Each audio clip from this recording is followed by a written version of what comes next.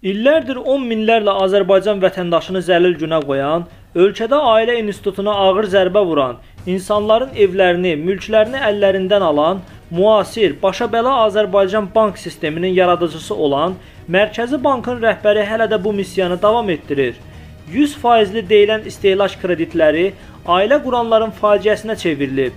50-60 min manat kredit götürüb sahibkarlıqla məşğul olmaq istəyən iş adamları kiçik bir uğursuzluğa kreditin ödənişini gecikdirdiyinə görə əlavə faizlərlə, cərimələrlə fantastik rəqəmə çevrilən kreditin əvəzinə girov qoyduğu 200-250 minlik daşınmaz əmlakı məhkəmələrin hökmü ilə müsadirə olunur.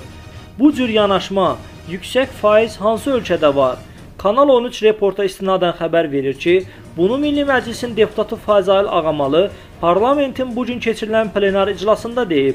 Onun sözlərinə görə, Mərkəzi Bankın sədri elan edir ki, 31 mərtəbəli 430 milyon manatlıq Mərkəzi Bankın yeni binasının tikintisi üçün tenderin qalibi müəyyən olunub.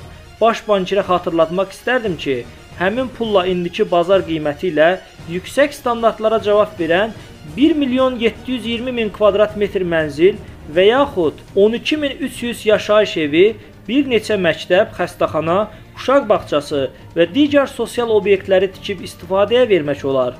Bu cür anormal bank sistemində ciddi islahatlara böyük ehtiyac var.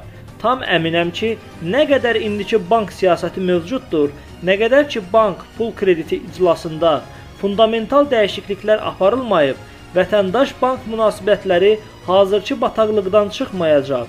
Eyni zamanda bank haqqında qanun yenidən işlənməlidir. Mərkəzi Bankın şəffaf olmayan maliyyə fəaliyyətinə, ştat cədvəlinin və illik smetadakı müstəqilliyə son qoyulmalı və bu səlahiyyətlər Milli Məclisə verilməlidir. Dünyanın milyardlarla vəsaiti olan böyük banklarının Azərbaycana gətirilməsi önəmli olardı. Bu praktikanı ölkələrində tətbiq edən Cənubi Koreya, Sinqapur, Yaponiya və Çinin reallığı göz önündədir.